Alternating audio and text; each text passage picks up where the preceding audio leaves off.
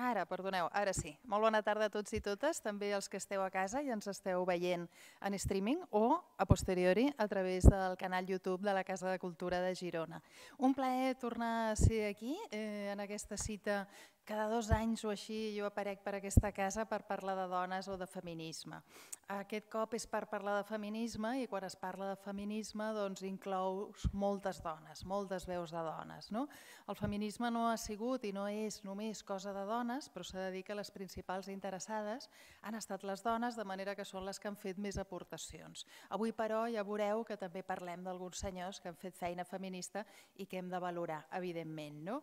Aquest cicle, eh, que es diu Les veus del feminisme, ve al pèl perquè estem a la quarta onada del feminisme, no? aquest moment en el qual el feminisme, gràcies al MeToo i iniciatives semblants, eh, s'ha posat de moda, s'ha fet transversal, s'ha globalitzat, no?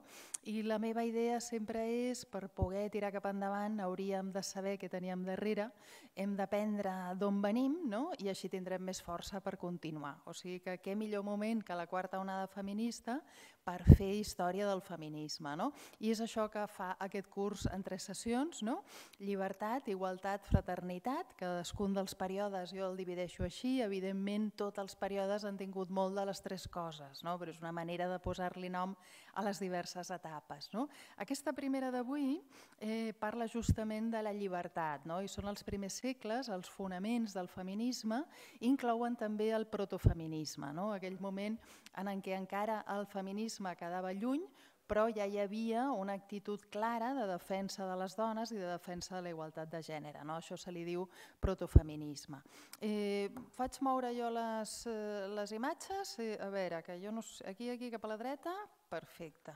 Si ens en sortim o al revés, a veure, a veure, anem a provar-ho. Eh, a mi no em gira això. Cap a l'altra banda, he d'enfocar alguna cosa. No té pila. Sí? A veure, digues.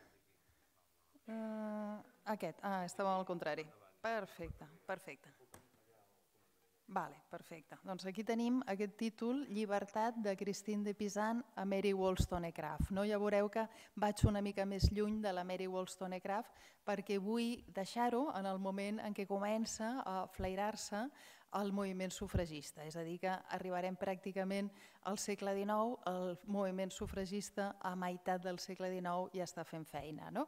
Però bé, anem una mica a la definició de feminisme no? per saber de què parlem en aquesta primera diguem, aproximació en tres eh, etapes a aquest moviment. No? El feminisme, un moviment social destinat a transformar el món deslliurant-lo en primer lloc de les dinàmiques de poder que fa que els homes dominin a les dones. Una lluita contra el patriarcat i contra aquesta estructura de dominació. No?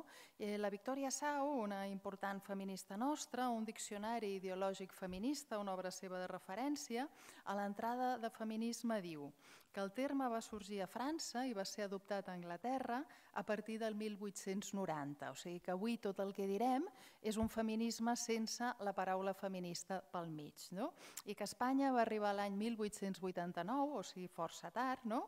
1899, perdó, el llibre d'un senyor que es deia Alfonso Posada, del qual ningú se'n recorda. No? Perquè és veritat que les dones el feien servir a la premsa, els seus articles, aquest terme, sobretot perquè parlaven del feminisme que s'estava exercint a altres països, però van ser els homes els que publicaven els llibres amb aquest títol, per exemple, de, directament al feminisme. No?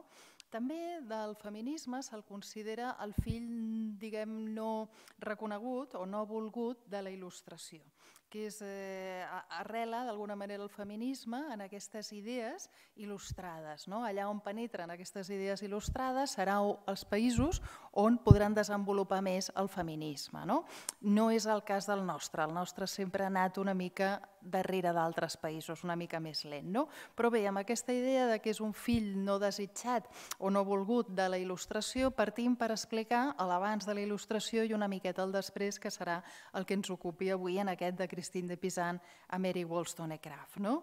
Tenim tres segles d'història contrastada, eh, com a mínim, és a dir, 18, 19 i 20, però tenim després eh, els segles anteriors. No? Això no ho té ni el socialisme, és a dir, el feminisme i el socialisme estan una mica al mateix temps històric, però és que el feminisme ve de molt abans, o sigui que de fet és el moviment més antic que encara es conserva viu, no?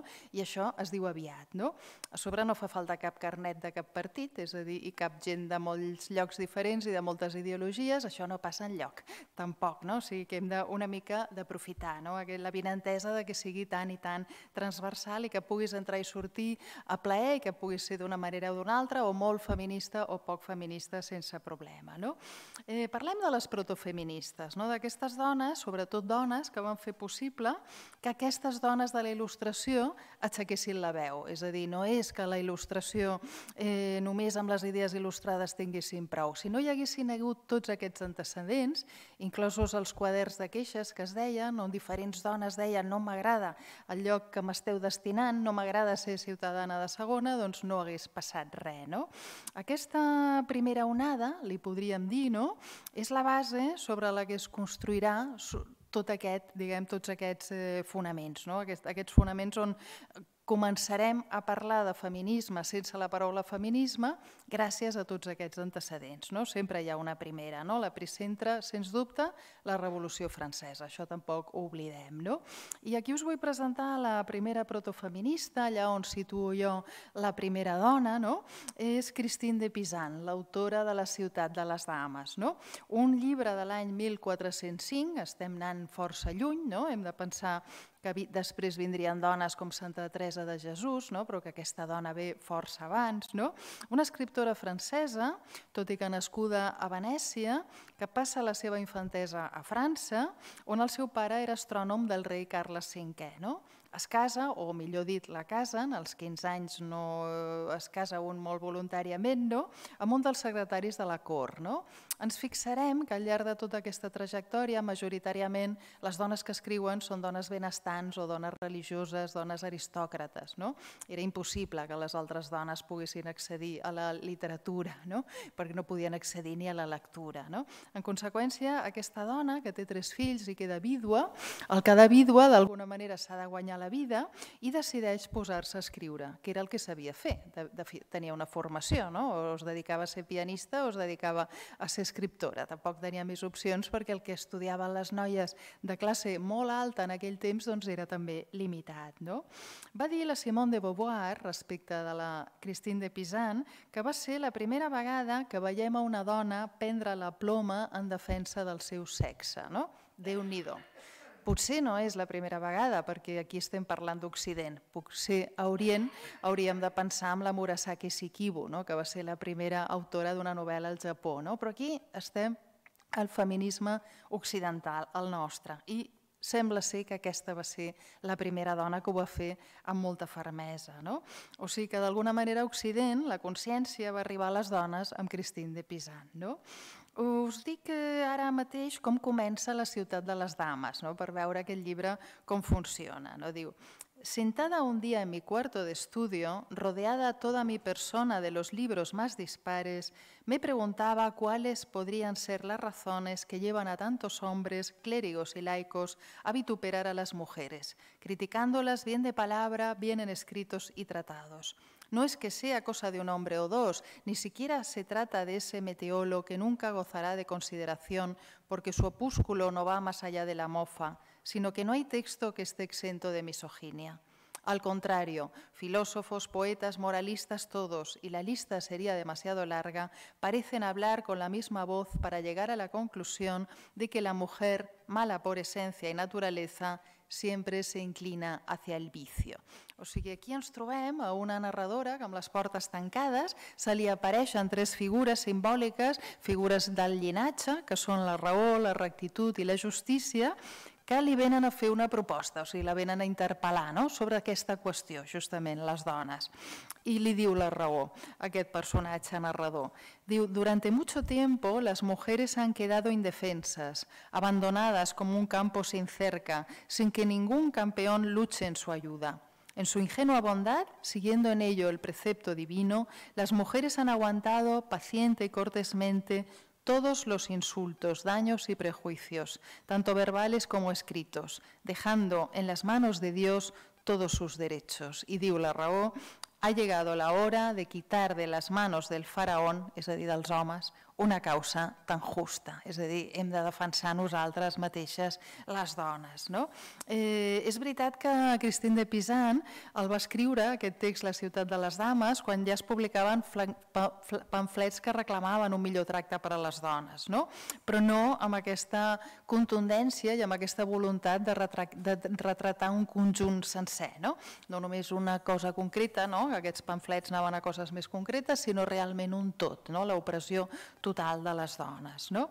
Però bé, aquesta la deixem com a primera, la pionera, Christine de Pisan, personatge també esforçat eh, pel que fa a les dones que agafen la ploma, les dones escriptores. No? Jo vaig publicar l'any passat un llibre que es diu El feminisme a Catalunya de subtítol i de títol El llarg viatge de les dones, que comença amb una poeta nostra que a meitat del segle XIX, la Maria Josepa Massanès, la poeta, a un pròleg del seu primer llibre de poemes, diu Jo vull ser escriptora jo no només no vull ser amateur, no vull ser una poeta amateur, vull ser com ells, vull ser professional. No? Doncs aquesta Cristina de Pisan, d'alguna manera, també ens està dient jo he anat a la cor per fer-me escriptora, per guanyar-me la vida i per publicar aquests llibres. També està en aquesta tradició de les escriptores empoderades. No? Anem després a una altra escriptora empoderada, que és la Isabel de Villena, la valenciana nostra, nascuda l'any 1430 i va morir l'any 1490, filla natural d'un marquès, va ser educada per Maria de Castella, exposa d'Alfons el Magnànim, cosa que va fer d'ella, evidentment, una dona molt cultivada, ja us deia sempre classe alta. No? La primera escriptora en llengua valenciana, que es diu aviat. No? En resposta a l'Espill o el llibre de les dones, de Jaume Roig, el tan conegut llibre, doncs ella escriu la Vita Cristi, no? una versió en clau femenina de la història de Crist a través de les dones que el van envoltar. No? Ja hi havia moltes Vites Cristis a l'època i més que hi hauria després, no? però totes eren masculines no? i ella va fer l'altra cara de la lluna. No? Això realment és molt innovador i és molt valent per a l'època. No? Parlem d'una persona que és una religiosa que està tancada dintre d'un convent i que escrivint llibres de mística ja hagués tingut prou, no? però tenia segurament la mateixa inquietud que va tenir Santa Teresa de Jesús de fer coses transgressores. No? En aquest cas, Santa Teresa de Jesús es dedicava a fer convents per dones, no? convents femenins, i recorre la península ibèrica, i en canvi aquesta Isabel de Villena surt poc, dialoga amb els escriptors de l'època, té bones relacions, i aquí els pròlegs i les dedicatòries, etc. No? I ell el que fa realment és fer un nou testament, no? però el publica l'any 1497, no? una mica després d'aquell nou testament que coneixem. No? Ella és abadesa de l'ordre de les Clarisses i la seva gran obra eh, no la publica ella, aquest, aquesta Vita Cristi, no? sinó que la publica la seva successora, que és una abadesa que ella mateixa designa, que es diu Aldonsa de Mons de Montsoriu, a la qual li hem d'agrair que aquest llibre estigués publicat. No? Diuen que aquest llibre es va vendre més que el Tirant lo Blanc, que va ser contemporani, i un llibre, el llibre famós de Joanot Martorell, que va tenir bona rebuda per part dels lectors i les lectores, imaginem més lectors que lectores en aquells anys. No? Ara passem al segle XVI-XVII, no? anem avançant amb el temps, i tenim, a veure si ens fa cas la màquina, a veure, a veure... Jo estic enfocant on m'han dit, eh? A veure, a veure...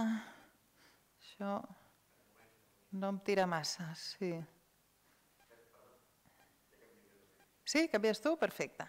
La següent, Marie de Gournay. No? Aquí tornem a França, 1565 i morta el 1645, una dona parisina, també de classe alta, de família noble, molt en contacte amb els saloniers, no? ja comença aquest ambient dels saloniers, als quals jo crec que els hi tenim tots una mica d'enveja, perquè tenia bona pinta allò d'anar a uns salons a parlar de literatura i a prendre una copeta, no? i editora, curiosament, no de qualsevol llibre, sinó dels assajos de Montaigne, no?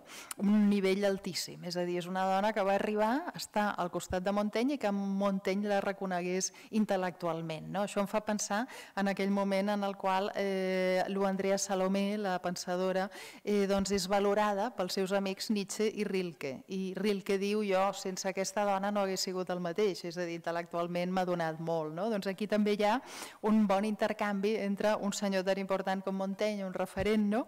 i aquesta jove, Marie de que no era ningú, però que a base d'estudiar, a base d'aprendre, doncs s'apropa a ell i acaba escrivint en defensa de la seva veu i del dret a tenir-la. No? De manera que els pròlegs de, el pròleg d'aquests assajos, una part dels assajos, no tots de Montaigne, mostra que ella també té dret a escriure i que té la capacitat no? de fer aquesta feina que li ha encarregat el mestre. No? I jo una mica també la comparo amb aquesta Maria Josepa Massanès que mencionava, o sigui, aquestes dones escriptores que reivindiquen un espai també al, al món literari. No? Eh, igualtat entre els homes i les dones, que ella publica l'any 1692, està dedicat a Anna d'Àustria, sempre als ambients de la, més elevats, no? socials, no? que serà la mare del rei Sol, no? o sigui que no li dedica dedica qualsevol. No? I allà atribueix totes les carències de les dones a que se'ls hagi negat justament l'accés al coneixement, no? al qual ella ha tingut eh, accés com a excepció. No? Publicarà també un agravi de les dames, publicarà una apologia de la que escriu, mireu quin títol més xulo, no? i de fet hi ha una escriptora, una assagista, que es diu Jenny Disky, que a posteriori, ara a temps contemporani, doncs, li dedica un llibre, perquè coneguem el personatge, que es diu justament Apologia per a la mujer que escribe, no? que és un dels llibres que a mi més m'ha agradat dels que he llegit en els darrers 30 anys, podria dir. No?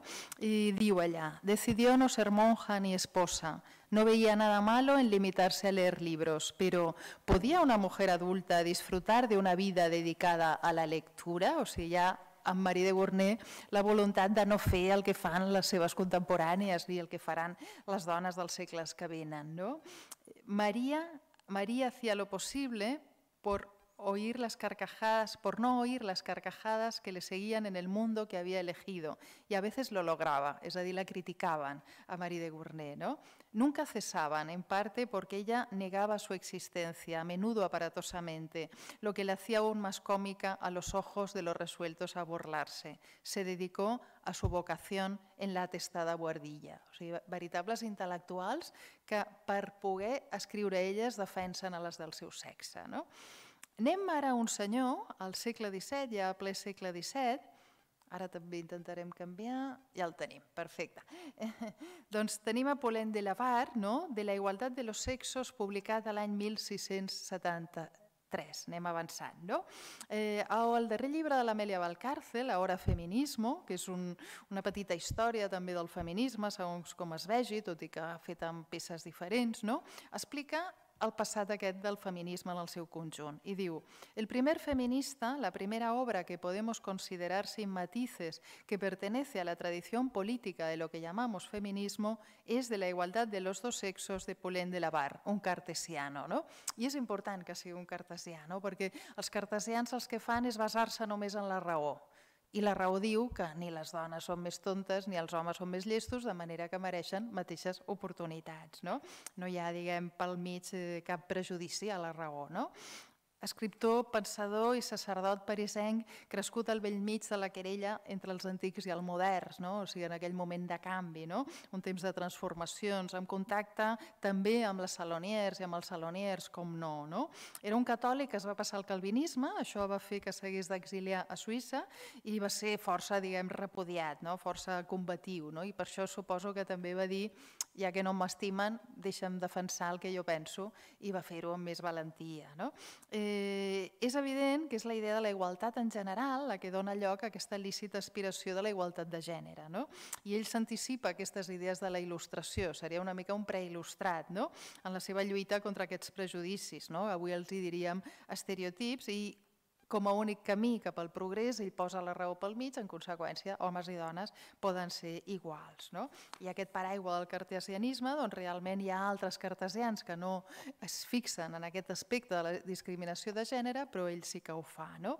I d'alguna manera agitarà eh, els ànims i això donarà d'alguna manera una petita empenta cap a la modernitat. No? S'ha de dir que també l'ha estudiat molt un altre mestre del feminisme, que és la Celia Morós, que té un llibre que es diu Tiempo de feminismo, proyecto ilustrado i postmodernidad, que si esteu interessats en aquest període us recomano, que és un llibre de meitat dels anys 90. No? I ara passem a la següent. Eh, tindrem l'educació de les dones com a tema clau, evidentment, el senyor Rousseau, el llibre cinquè del seu Emilio de l'educació, un llibre de l'any 1762, no? deixa dit que les dones no cal, no necessiten educació. No? Diu, la educación de las mujeres debe estar en relación con la de los hombres, agradarles, serles útiles, hacerse amar y honrar de ellos, educarlos cuando niños, cuidarlos cuando mayores, aconsejarlos, consolarlos y hacerles grata y suave la vida son las obligaciones de las mujeres de todos los tiempos. Y esto es lo que desde su niñez se les debe enseñar. Se quedó descansado. Hoy que sí, el señor Rousseau es va quedar molt descansat. ¿no?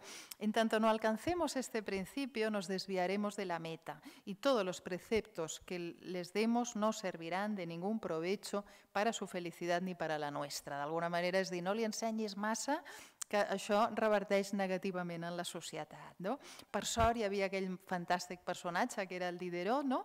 que creia en l'educació de les dones fermament i, per exemple, la seva novel·la, El nebot de Ramó, diu que les instruiria en disciplines com la gramàtica, la filosofia, la música, és a dir, amb les més elevades, la ciència i el que calgués. No? Ara passem al següent personatge, a veure si me'n surto. Aquí. Tenim a Choderlos de la Clos, amb aquest nom que sembla com un anagrama, una cosa una mica estranya. Aquest senyor és l'autor d'aquella novel·la meravellosa, que és Les amistats perilloses. No? També gran pel·lícula, de fet hi ha un parell de pel·lícules, tres, no de fet. Jo em quedo amb una d'elles on la Madame de Tourbel i la marquesa de Mertuil eren interpretades per Jane Close i la Michelle Pfeiffer i Balmont, el tercer, és un trio, no? Pel John Malkovich, una pel·lícula meravellosa, no? una pel·lícula que van acusar la novel·la de ser com massa freda, en el sentit de que van veure els contemporanis lectors d'aquesta novel·la doncs, que aquest senyor era molt valent, era molt agosarat amb això de la sexualitat, anava com molt per feina. No? I, i és una història doncs, de de poder sexual, no? o sigui, una persona que fa que una altra eh, es liï amb una altra doncs, maquinant, no? d'alguna manera.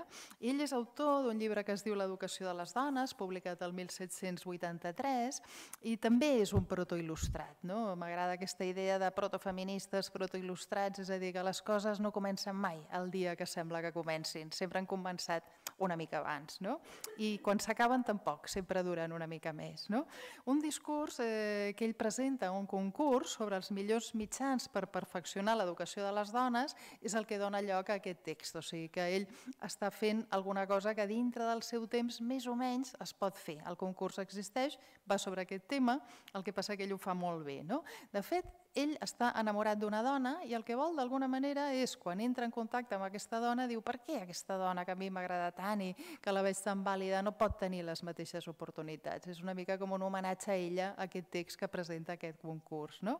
Afirma que no existeix una, una diferència a priori entre els sexes, sinó que aquesta és el resultat justament de la feina que fa la societat segregant els sexes, eh?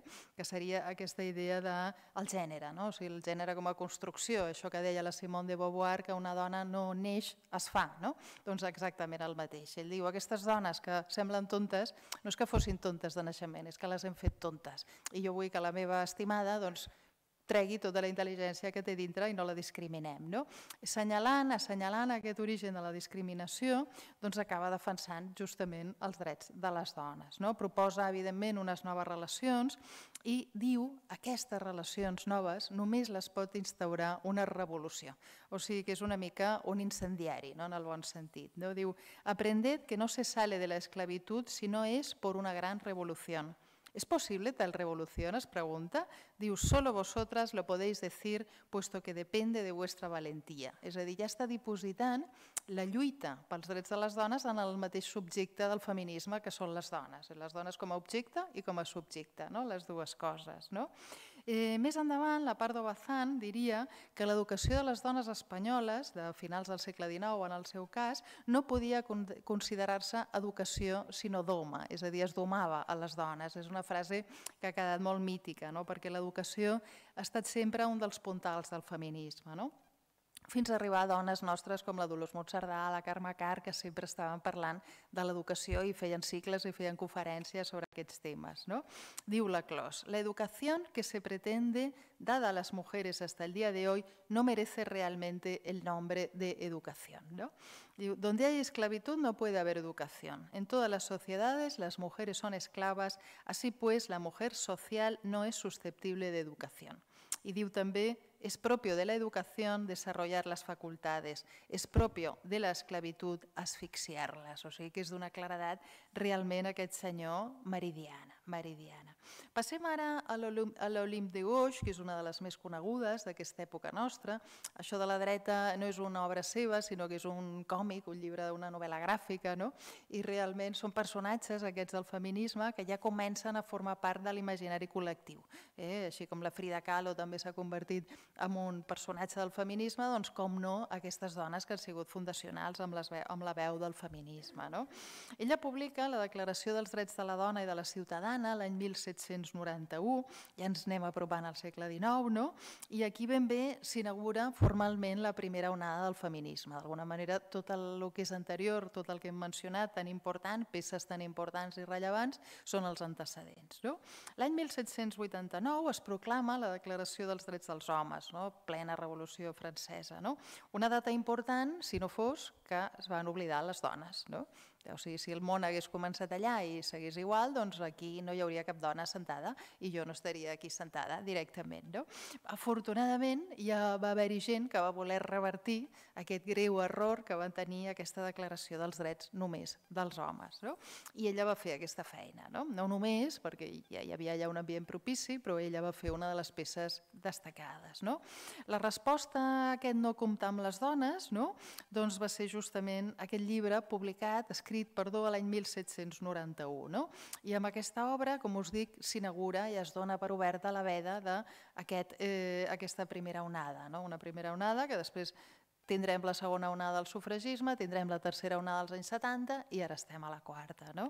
Avui a la televisió de Girona em preguntaven si jo pensava que hi hauria una cinquena onada feminista, no? jo he contestat espero que no calgui, en el sentit que espero que aquesta sigui prou expansiva, però cas que hi hagi una cinquena onada feminista, doncs m'agradaria que fos un feminisme que ja es dediqués a totes les lluites en el seu conjunt, és a dir, que fos realment de transformació del món, no només aquesta transformació tan important que és deixar que les dones visquin d'una manera plural i lliure com entre cometes, ho haurien de fer també els homes, o com a mínim en molts països tenen la possibilitat. No?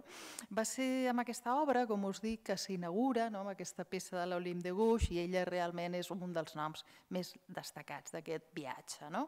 Eh, ple esclat de la Revolució Francesa, que va acabar amb la monarquia absolutista i va establir un govern republicà, mentre els caps dels nobles rodaven a la plaça pública el temps que el poble cridava i aplaudia. No? Aquesta va ser una de les dones que també va perdre el cap cap en aquest procés. No? També va ser guillotinada. No? El seu llibre reclamava per a les integrants del gènere femení els mateixos drets polítics dels que gaudien els integrants del masculí, no? inclòs el dret a vot. No? Amb això és molt, molt, molt pioner aquest moment de la revolució. No? Negant la desigualtat i, desigual, i denunciant la discriminació impugna la declaració només pels homes, dels drets només pels homes, alegant que no és vàlida si repudia les dones. No? Reclama per elles aquesta ciutadania de preu dret, de, de ple dret, desafia l'esperit revolucionari i l'acusa directament de misogínia. No? Eh, la història del feminisme va acompanyada de la història de la misogínia, és a dir, són dos, dos trens que van paral·lels. No? Sigui, realment s'han omplert llibres amb les frases misògines que ens han arribat a dir. No? Ja és molt famosa aquella de Schopenhauer de que la dona és un animal de cabell llargs idees curtes, no? però d'aquestes hi ha centenars, milers, no? i generalment atribuïdes o, o escrites per senyors que van ser molt importants al seu temps. O sigui que una dona que s'enfronta a la misogínia i acusa ni més ni menys que tota la Revolució Francesa de misogínia, doncs eh, era una dona que els tenia ben posats, no? hem de dir. No? Mencionar això, que va ser guillotinada, però justament un any concret, que va ser l'any que els jacobins van decretar el tancament dels clubs de dones, que no deixaven de ser un lloc de trobada i consol. No? I pensem en aquells clubs de dones que després anirien derivant en d'altres, com per exemple el Liceum Club, que funciona aquí a Barcelona, en aquest cas, i a Madrid, durant la Segona República, no? que va ser un lloc de cultura i sororitat on les dones es trobaven doncs, per parlar entre elles i per fer coses interessants. No? La Olim de Guix es casa amb un home molt més gran, aquesta tradició de sempre, no? queda vídua, no? també hem parlat abans d'una altra que s'havia casat per la força i havia quedat vídua, no? marxa a París, allà comença a freqüentar els salons literaris i comença a defensar reformes socials, no comença diguem directament per el feminisme. No? Eh, per exemple, defensa el divorci no? i aquí ja es fica de ple en l'àmbit aquest de la igualtat, la defensa de la igualtat de gènere. No? Per exemple, una cosa important que va defensar va ser el reconeixement dels fills nascuts fora del matrimoni, no? que en aquella època eren molt usuals i ho van seguir sent durant molt de temps. No? Eh, va ser dos anys després, com us deia, de publicar la Declaració dels Homes, o sigui que no espera gaire a que allò es materialitzi, no? I reclama eh, aquests mateixos drets. No? Això ja ha quedat prou clar. No? Els articles de la seva declaració dels drets de la dona causen molta admiració perquè són agosarats realment, són valents, no? i la manera de dir-ho és molt clara, és com molt periodística. No? Diu, per exemple, l'article 1, la mujer nace libre y permanece igual al hombre en derechos. Article 4. La libertad y la justicia consisten en devolver todo lo que pertenece a los otros. Así, el ejercicio de los derechos naturales de la mujer solo tiene por límite la tiranía perpetua que el hombre le opone. Estos límites deben ser corregidos por las leyes de la naturaleza i de la razón, no? la razón cartesiana, no? evidentment. Ella eh, havia criticat molt la política del Robespierre i de Marat, també va estar presa a la Bastilla, o sigui, en aquest sentit em fa pensar en una feminista nostra il·lustre, que va ser l'anarquista llibertària Teresa Claramunt, per exemple, l'Àngeles López de Ayala, una altra d'aquestes feministes, eh, diguem, obreres de finals del segle XIX, de la nostra Catalunya, no? que també van estar preses preses, van passar per Montjuïc, van passar per tortures, van tenir problemes de salut per culpa d'aquestes tortures, etc etc. No? I bé, guillotinada queda com una màrtir també del feminisme, tot i que no fos exactament per la seva causa feminista només que va ser guillotinada. No? És veritat que eh, la història va esborrant tots aquests personatges, no és que hagin estat sempre els llibres, no? sinó que realment eh, fins la Segona Guerra Mundial aproximadament no comença a reivindicar-se la seva figura. O sigui que ara que podem fer cicles sobre la història del feminisme, hem de saber que totes aquestes peces no sempre han estat posades als mateixos llocs no? que sinó que han fet el possible, el patriarcat, que és molt intel·ligent, per anar apartant, per anar esborrant tots aquests ingredients que ara necessitem per fer la suma que ens porta fins l'avui, per construir aquesta genealogia femenina i feminista. No? I bé, passem ja cap al final, anem a la Mary Wollstonecraft, aquest personatge molt apassionant realment, ella es diria, podíem batejar-la com l'àvia de Frankenstein, sinó que és una mica estrany ser l'àvia de Frankenstein, però de fet sí, perquè és la mare de la Mary Shelley, que és l'autora de Frankenstein. De fet, ni la va conèixer perquè va ser el parc que ella va morir, o sigui que no la va ni conèixer, no? però la qüestió és que ha quedat com molt famosa la filla i una mica menys la mare. No? De fet, el personatge de la mare és infinitament més apassionant, no? infinitament. No? Ella publica Vindicació dels drets de la dona l'any 1792, ja estem gairebé al segle XIX, no? i li podíem dir la mare del feminisme modern, no? perquè té una temperatura, té una, diguem, una, una, una, una energia a l'hora de parlar no? que realment fa que les seves maneres de fer siguin més pròpies de la modernitat que no del, de l'antic règim, no? de la, pre, de la prerevolució. No? Eh, va ser batejada eh, com hiena com faldes, no us ho perdeu. O sigui, els seus enemics l'estimaven tan poc que li deien el que mateix que també li deien aquestes dones, tipus la George Sand i companyia, que anaven pel món amb molta, diguem, valentia. No? Doncs aquesta li va tocar hiena com faldes. No? I va ser també la que va incloure, per primer cop, va definir el concepte de gènere sense batejar-lo exactament així, o sigui que diguem és molt precursora, molt abans eh, que els estudis de gènere doncs ja hi havia la Mary Wollstonecraft deixant clara aquesta diferència entre el sexe i el gènere. No? Ella neix a Londres, filla d'un borratxo que arruïna la família apostant a les carreres, és a dir, el que avui li diríem una família desestructurada, no? i perquè el pare aquest també maltractava la mare, o sigui que l'ambient era el menys propici no? per crear una pensadora, una escriptora. No? Però aquest patiment el que va fer és forjar justament el seu caràcter lluitador no? i reivindicatiu. No? Ella va gaudir d'una educació molt elemental, però va tenir la força d'anar-se eh, autogestionant i es va convertir en una persona autodidacta que sabia moltes coses. És una mica com una rodoreda que estudia molt poc a l'escola, però després va a afegint tot el que pot, no? va aprenent d'aquí d'allà, va llegint, va escoltant i acaba sent una persona que eh, estudia llengües clàssiques, filosofia, de la mà del pare d'una amiga, que munta una escola amb una companya, o sigui que té molta voluntat, no? treballa com a eh, institutriu, que era molt propi també de l'època, etc. No? I al final abandona Anglaterra, no? pressionada també per la vida difícil, i s'instal·la a França, no? o sigui que la tenim a cavall entre França i Anglaterra. No? Mica en mica aquesta formació autodidacta l'ha anat portant cap a l'escriptura, no? sempre pel camí hi ha la capacitat d'escriure i d'explicar el que es pensa, les idees soles no serveixen, s'han de poder plasmar eh, negre sobre blanc. No? I és una cosa bastant inusual encara a aquest moment de la història. No? Estem parlant del segle XVIII, dones que agafen la ploma i escriuen amb normalitat. No? Lluita per la independència de les dones eh, descaradament i es fa molt famosa a tota Europa com a personatge. No? O sigui, és un personatge personatge fort que deixa, deixa petjada. No? Publica Vindicació dels drets de l'home, 1790, i després és quan es decideix escriure Vindicació dels drets de la dona dos anys després, no? redactat justament al tram final de la seva vida, que va morir jove, evidentment. No? Ella acusa alguns intel·lectuals d'haver considerat a les dones inferiors sense fonament i de no haver advertit que l'única diferència entre les dones i els homes és que no rebien l'educació. Tornem a estar el mateix punt, no? intentar convèncer els altres, els que no estan convençuts, de que és un problema de manca d'educació. No? Però mireu que ha costat eh, que els hi entrés al cap, no? perquè han costat, ha costat uns quants segles una cosa tan evident. No? I insistien en manar la biologia, en fer amb la biologia trampes per poder explicar que no, que el cervell era més petit, que pesava menys, que li això, que l'altre. No? També d'altres races es veu que el cervell passava menys. No? O sigui que eh, la xenofòbia i el, i el masclisme van com una mica junts. No? Diu eh, Mary Wollstonecraft, la mayoría siempre es el pedestal de la mayoría. Sin embargo, me aventuraré a afirmar que mientras las mujeres no reciban una educación racional, el progreso de la virtud y del conocimiento se verá continuamente obstaculizado. Ella atribueix les limitacions de les dones justament al no a causes naturals i incideix molt en aquest aspecte, no? i amb realment un bloqueig dels, hom dels homes, no? o sigui, una voluntat eh, descarada dels homes d'impedir aquest accés, justament. No? Ella li fa una dedicatòria a un senyor important no?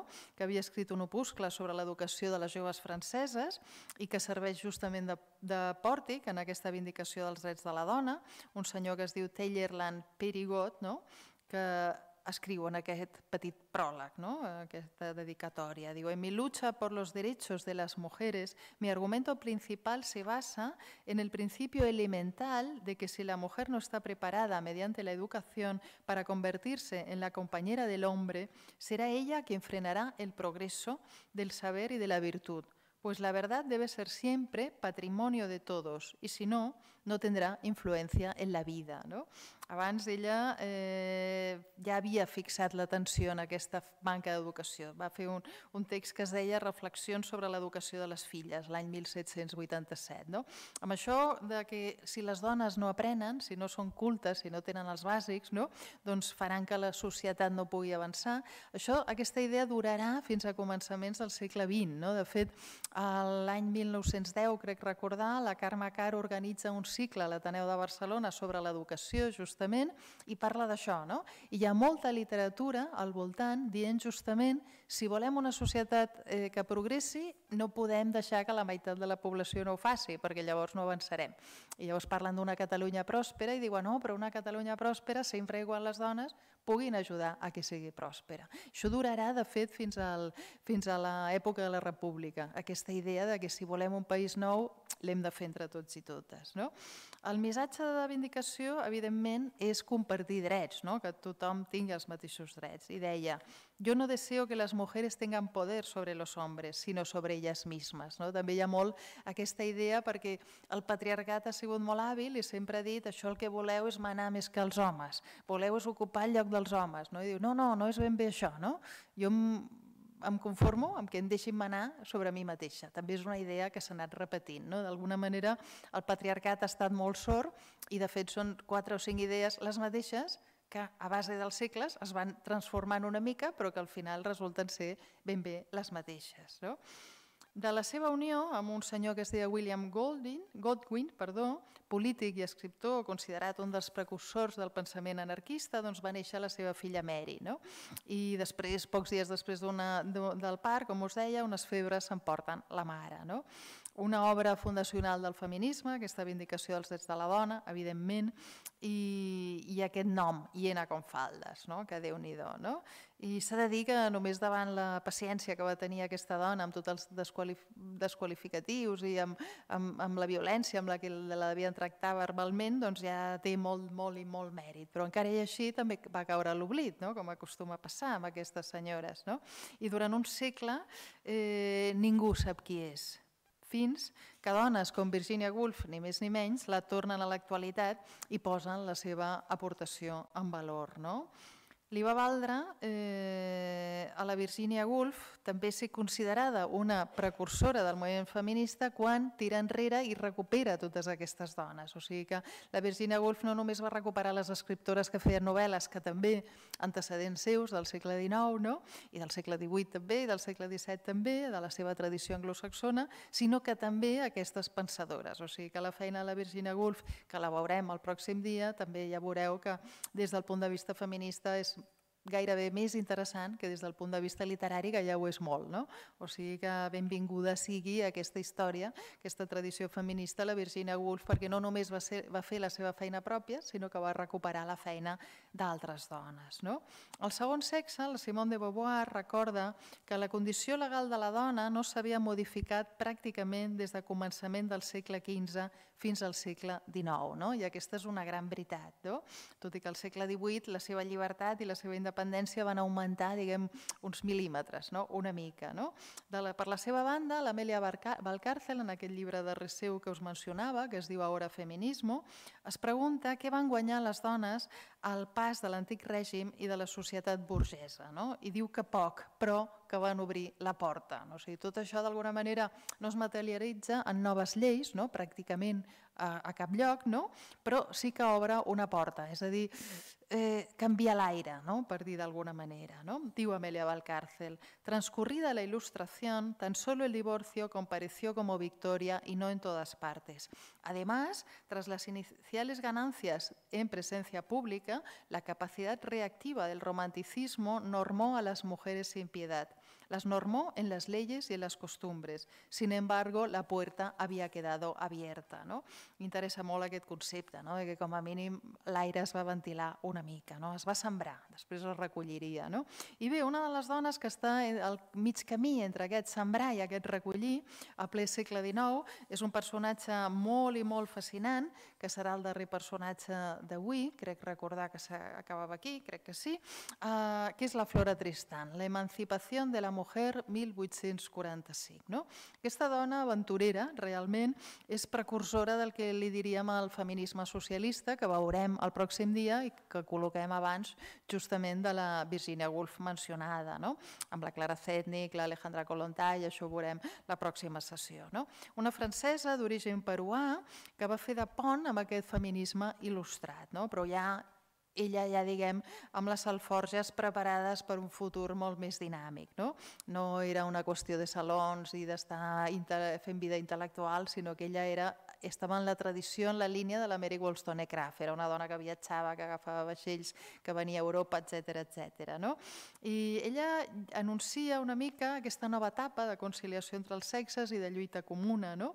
i es compromet també amb el moviment obrer. No? De fet, ella és la gran defensora del concepte de pàries, no? dels abandonats a la terra, dels desheredats, no? i es converteix en s'anomena reportera de la misèria, no? es converteix en una persona que dona veu als que menys tenen veu, no? una filòsofa social, evidentment. No? I una companya, la Concha Llinàs, un llibre que es diu justament Flora Tristan, una filòsofa social, insisteix en que va donar molta importància la Flora Tristan a la construcció d'aquesta genealogia femenina que estem veient que ens és tan útil per explicar aquest moviment. No? I que va ser justament també una de les reivindicadores obres de la Mary Wollstonecraft, que jo diria que és el seu antecedent directe, no només cronològicament, sinó per un cert esperit, no? un cert caràcter. No? Diu la Concha el feminismo de Flora está lleno de resonancias históricas y se expresa en todas y cada una de sus obras. Es heredero sobre todo de las diez reivindicaciones igualitarias de las revolucionarias francesas, pero también de la fuerza y el ansia de libertad de las escritoras románticas. O sigui, hi ha un toc d'aquesta força que ja tenia un antecedent que era la Mary Wollstonecraft. No? Reclama un nuevo 1789 para las mujeres en el que tanto las mujeres como los hombres saldrán ganando. O sigui que té aquesta barreja, diguem, de força reivindicativa que l'emparenta més amb les dones que surten a les manifestacions de, de, des dels anys 70 que no amb el passat d'aquestes il·lustrades més de ploma i, i paper. No? Aquesta una mica és la idea. No? A una carta eh, publicada, ai, perdó, escrita l'any enviada, l'any 1843, escrita i enviada, diu predicant la independència de la dona, volent que sigui absolutament lliure en tot, vull que en l'amor sigui ella qui prengui la iniciativa, que li digui aquell qui estima, l'estimo, vol ser meu? Això explica com entenc que haurien de ser les relacions amoroses entre la dona i l'home. I aquí ja està fent d'antecedent de l'Alejandra Kolontai, que serà la dona eh, que i convida les dones a ser dones noves i que diu deixeu-vos d'aquestes relacions tan burgeses, sigueu lliures també en les relacions sexuals, amb les relacions sentimentals. No? O sigui que també tenim aquesta Flora Tristan com a antecedent d'aquest feminisme socialista també en les temàtiques, no? inclòs el sexe. No?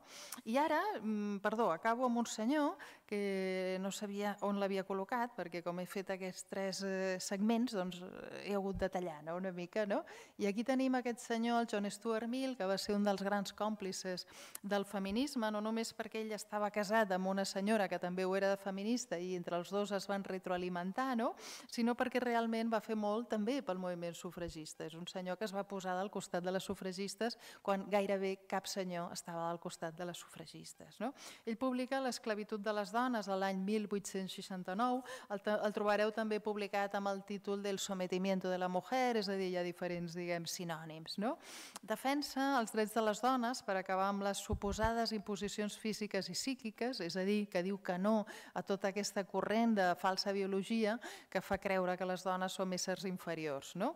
i que eren, eren corrents que estaven molt, molt de moda i que durant molts anys doncs, la gent se'ls creia no? realment. No?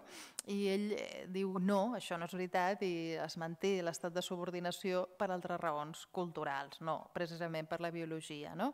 Volia també també la igualtat en el si de les famílies i que les dones també poguessin desenvolupar oficis, tasques que no eren les atribuïdes normalment al seu sexe. No?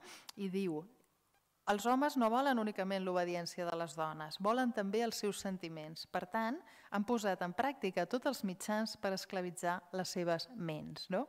I també aquesta idea és molt interessant. No? O sigui, no només vull que m'obeeixis, sinó que vull que pensis que obeint-me estàs sent molt feliç i m'estàs fent molt feliç i tot és molt bonic i la família funciona. No? I sobretot diu, eh, no és veritat que les dones accedeixin a la seva submissió perquè des de que hi ha dones capaces de donar a conèixer per escrit els seus sentiments, les protestes han augmentat. És a dir, no, no, no les dones no han comprat això. Hi ha diverses dones unes quantes, moltes, totes les sufragistes, que no, de manera que alguna cosa no està rotllant aquí. No? La seva dona va ser la Harriet Taylor Mill, era una dona que estava casada amb una altra, aquest altre va tenir la pensada de presentar-los i clar, es van trobar dos ànimes bessones i se'n va anar cap a l'Stuart Mill, que té pinta de ser un senyor molt encantador. No? Eh, també ella va escriure sobre aquests assumptes, però com no estava professionalitzada com a escriptora, no va publicar els seus escrits. Després sí que hem aconseguit tenir volums on estan els escrits dels dos, òbviament. No? Eh, per ella, ja us dic, aquest segon matrimoni doncs, va servir també per alimentar intel·lectualment el seu desig feminista per inocular-lo també amb el John Stuart Mill, que també ja el tenia força inoculat. No? I ella, per exemple, eh, escriu ¿Cuál dulce pedazo de paraíso el matrimonio de dos personas instruidas que profesan las mismas opiniones, tienen los mismos puntos de vista y son iguales con la superior igualdad que da la semejanza de facultades y aptitudes, y desiguales únicamente por el grado de desarrollo de esas facultades, que pueden saborear el deleite de mirarse con ojos húmedos de admiración y gozar por turno el placer de guiar al compañero por la senda del desarrollo intelectual sin soltarle la mano en muda pressió sujeta. No? Jo recordo que vaig publicar fa uns quants anys un crec que va ser el primer article pràcticament diguem, llegit per gent normal, no especialitzada, un article a La Vanguardia que es deia els, ells, els feministes, no? que posaven valor a aquests personatges masculins que han ajudat, no? lògicament, no? i un dels més destacats era aquest. No? Eh, publica l'any 1834 La dona, un assaig que es diu Sobre el matrimoni, només dedicat a ell. És a dir, d'alguna manera ella eh, escriu per dialogar amb ell intel·lectualment i és ell el que aquestes idees pròpies i d'ella les materialitza en unes obres que ja seran per tothom. No? I diu ella, l'educació de les dones té una única fi, resoldre la seva vida mitjançant el matrimoni. Algunes pobres dones ho aconsegueixen sense passar per l'altar. El camí és el mateix i la seva situació en res sembla pitjor que la de les seves honorables germanes. No?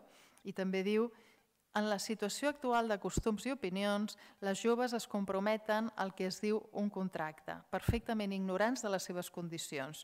Però és que, a més, és absolutament essencial que sigui així per poder dir que estan preparades per a ell. O sigui que també hi ha una mica de sentit de l'humor de dir sort que no saben cap on van, necessitem que no sàpiguen cap on van perquè si no no podrien anar. No? Eh, la Emilia Pardo Bazán, que va ser la gran feminista eh, que vam tenir dintre del món de la literatura, això sens dubte, va traduir aquest llibre del John Stuart Mill, L'esclavitud de la dona, i li va posar pròleg, i deia que el Mill, un pròleg una mica confós, una mica així molt apassionat i llarg, que escriu i que el trobareu penjat a internet, de fet jo el vaig trobar i no el tenia, doncs li, diu que li recorda una mica el seu pare, que es veu que dintre de tot era un home una mica avançat al seu temps. No? Y diu la Emilia Pardo Bazán, en la de Stuart Mill con la señora Taylor, bien patente está el fin a que, a que cooperaron reuniendo sus esfuerzos intelectuales i beneficiándose mutuamente. No? És bonica també aquesta idea d'un senyor que és capaç de reconèixer el valor de la companya que té al costat i sumar-la en, la seva, en la seva feina. No? I després diu, volviendo a Stuart Mill, porque no es mi ánimo anticipar endebles raciocinios cuando vais a apreciar los suyos, porque ella es el porte que fa la seva traducció, ¿no? de hierro batido y acero bien templado, diré que su campaña no ha sido estéril y ya puede contársele entre los mayores bienhechores de la mujer en el terreno positivo. Cuando en 1867 presentó a la Cámara de los Comunes el proyecto de ley pidiendo para las mujeres el derecho de sufragio, la minoría que votó con él fue lúcida e imponente y general la sorpresa de sus adversarios viendo que no podien tildarle de extravagància. O sigui que aquí ens trobem plenament amb un John Stuart Mill que fa de pont amb aquest moviment sufragista que donarà lloc a la segona onada feminista i de la qual parlarem el pròxim dia. Moltíssimes gràcies.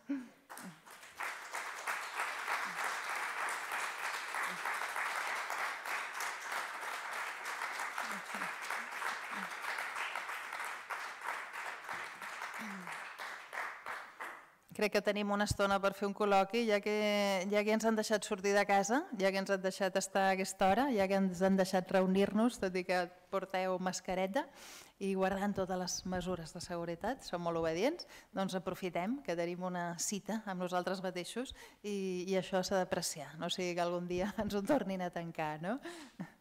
Qui trenca el gel? Sempre ha d'haver-hi algú que trenqui el gel. Algun comentari, alguna pregunta, alguna consulta, alguna recomanació d'alguna veu que m'hagi pogut deixar? Si no, m'hauré de preguntar a mi mateixa i jo tinc molt de rotllo. Jo em puc preguntar qualsevol cosa. Sí, sisplau, aquí.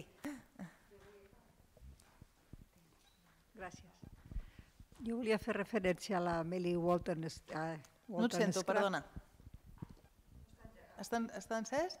Sí, no? Ara? Ara. Sí. Volia fer referència a la Mary Walton Scraft, que jo sí. la vaig descobrir llegint la seva biografia i realment era una dona molt... Forta. Sí, va ser una dona superba en el sentit de que ella va superar moltes dificultats i malgrat tot va arribar on va arribar.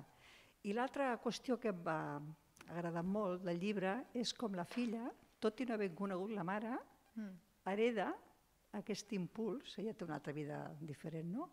però hereda aquest impuls de la mare i també manté aquest pensament feminista, perquè a la vida que fa la Mary el pensament feminista res de res, és més aviat al contrari, ella se l'ha de buscar, però en canvi la filla sembla que ho porta com inoculat, no? i ella mateixa doncs, va, va fent sobreviure aquell pensament de la mare i fins que arriba a fer bueno, les creacions que ella fa. No?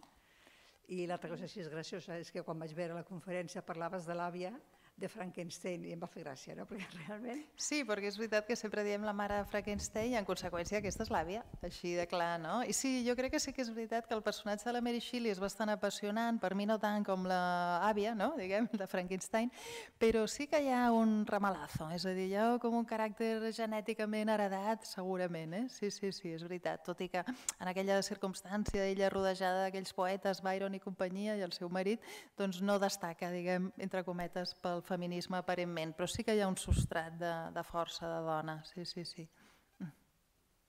O sigui que us convidem a conèixer més de la Mary Wollstonecraft. No, és veritat que hi ha personatges que són més plans i altres que són més aventureres i aquí, per exemple, jo crec que les més aventureres són la Mary Wollstonecraft i la Flora Tristan. La Flora Tristan és un superpersonatge, si us interessa, molt, realment molt. Eh?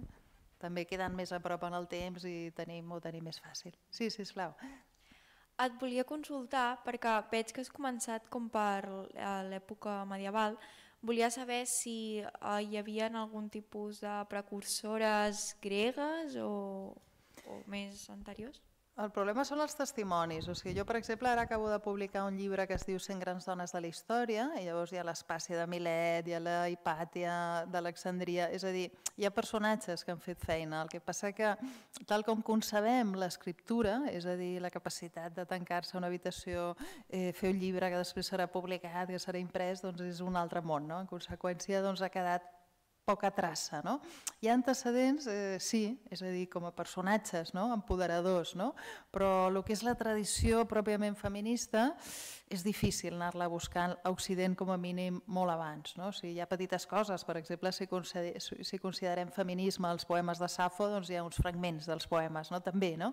Sí que és veritat que el feminisme ha necessitat, clar, com l'oposició del patriarcat ha sigut tan ferotge, del masclisme, de la misogínia, doncs i ha intentat esborrar-ho tot, doncs hem hagut d'agafar-nos a coses que sovint són parcials o sovint són borroses, no? però d'alguna manera hem de construir aquesta genealogia. O sigui que si hi ha un trosset de Safo, el comprem, ho comprem tot, no?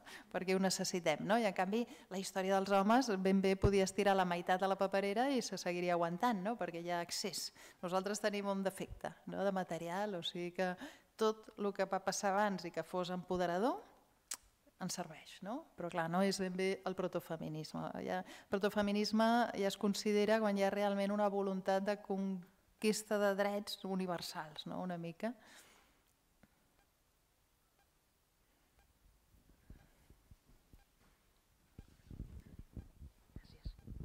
Hola? Ah, hi havia una altra, no? Hola. Uh, Hola.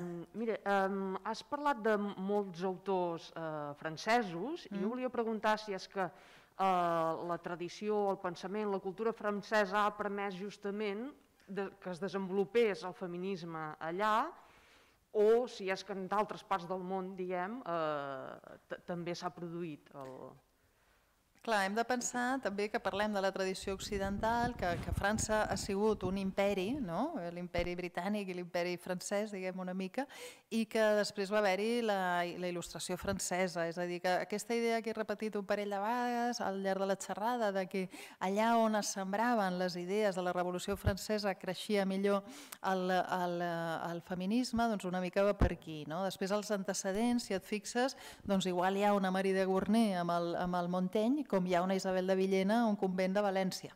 O sigui que hi ha més llocs. No? També el nostre coneixement i la nostra tradició. No? També passa que els textos que ens han anat arribant doncs, venen d'una determinada tradició intel·lectual. No? I és veritat que a Espanya doncs, hem sigut durant molts anys més francòfons que anglòfons, de manera que tenim més coneixement també. Però sí que és un, és un consens universal, és a dir, quan es parla del feminisme occidental són aquests noms que surten, no, no només són meus. No? Però sí, després passat el temps, és a dir, quan arribem a la segona branca, el pròxim dia, a la segona fase, doncs ens trobarem tradició anglosaxona, perquè la Virginia Woolf ho és, Simone de Beauvoir, la tradició francesa, i després quan arribem als anys 70, no? la, tercera, la tercera sessió, doncs és molt anglosaxó realment. Llavors hi ha una mica de toc de les dones de la llibreria de Milà, per exemple, hi ha una mica de toc a França, però sobretot hi ha molts, molts Estats Units. No? I de fet la teoria queer, per exemple, la Judith Butler ve d'allà, no, no ve, de, no ve de, ni de Terrassa, ni de Múrcia, ni de, ni de Grenoble. O sigui, això és veritat que hem sigut francòfons durant molt de temps perquè la idea de la Revolució Francesa realment, si no hagués estat per aquest detallet que les dones no sortien, doncs era molt bona. Però bueno, tota la resta jo crec que els hi comprem, menys l'horari que tenen ara, que és criminal. No? Aquest confinament no els hi comprem. Alguna pregunta, algun comentari? Ah. Això m'agrada, això m'agrada. A veure, un moment. Aquesta Venen diu... preguntes de fora, això és interessant. sí. Diu, la declaració de Seneca falla. Quina connexió tenen amb la Mary Wollstonecraft? Igualtat política? Ah, Seneca Falls. Seneca Falls, sí. sí Seneca Falls va ser el moment en el qual, bé, de fet, l'abolicionisme és l'origen del feminisme als Estats Units, és a dir, comença allà, no? perquè la gran desigualtat, la més visible, era la de la raça, no? i la del gènere sembla que no es veia tant, no? i van ser les mateixes abolicionistes, les que de fet van venir a un congrés aquí a Europa, no les van deixar entrar per ser dones, no per ser abolicionistes, i, i llavors van, quan tor van tornar van dir, home, poder això de l'abolicionisme, poder li hem de sumar la defensa de la igualtat de gènere. Llavors es van trobar, ella i elles i uns quants homes, no? Eh, amb aquesta trobada que es diu Seneca Falls. No? De fet, connexió amb la Mary Wollstonecraft jo la ignoro, és a dir, no ho sé en aquest moment, jo crec que no, però tot és possible perquè és veritat que després, eh, per exemple, les trobades internacionals de socialistes, on ja estava la Clara Zetnik, on estava la Kolontai i companyia, doncs sí que es donaven cita dones de molts llocs, però realment les de Seneca Falls el problema que tenien és que aquí a Europa no les havien deixat entrar ni a la seva pròpia reunió, de manera que veig difícil que coincidissin per França o per Anglaterra amb la Mary Wollstonecraft que feia una vida una mica aventurera i una mica precària. No? Però bueno, és, és un temps compartit no? i parlarem parlarem d'aquestes abolicionistes. No? De fet, un, un altre llibre meu, que és Lila, història gràfica d'una lluita, parla justament d'això, no? de l'abolicionisme d'aquest moment com a principi també del feminisme anglosaxó, no? que també aquí ens emparenta una mica amb les lluites compartides. No? Ara que hi ha aquesta polèmica de si el subjecte del feminisme han de seguir sent les dones o ens hi cap tothom, no? jo sóc partidària de que ens hi cap tothom perquè ja està vist això, no? que una dona intentant defensar els negres doncs acaba defensant les dones. No? O sigui que tot és el mateix. De fet, la diversitat eh, eh, quan es lluita per la diversitat es lluita per totes les diversitats. A ningú se li acudiria lluitar per, per una raça i no per una altra, no? per exemple, amb la igualtat racial, no? doncs exactament el mateix. No? Alguna pregunta més que ens vingui de fora? No us, no us fa gràcia això de que ens estigui veient gent que no coneixem i que no estem veient? ha canviat el món, eh? no ens hem enterat i ens han canviat el món. Però és molt còmode, oi que sí? Els que esteu a casa, això és còmode, estar a casa. Un comentari, alguna pregunta? Tanquem, ho deixem aquí? Sí, doncs jo us emplaço el proper dimarts a la segona sessió, que serà Igualtat, i parlarem molt de la Virginia Woolf, molt de la Simone de Beauvoir, però també d'aquestes dones del feminisme socialista, també d'aquestes eh, abolicionistes de Seneca Falls, i jo crec que ens aturarem a la Betty Friedan, que és l'antecedent dels anys 70, perquè el 1963 va publicar la mística de la feminitat, i ja ella estava inscrita en aquell grup de dones que van començar a agitar els ànims no? i que van fer la tercera onada feminista. O sigui que el pròxim dia ens tocarà aquest pack, que és un pack gros, però bueno, jo l'explicaré d'una manera, diguem, senzilla, planera, i la idea és que després, aquells moments que us hagin agradat més, doncs els, els emporteu al cap i investigueu una miqueta més i els amplieu. Moltíssimes gràcies.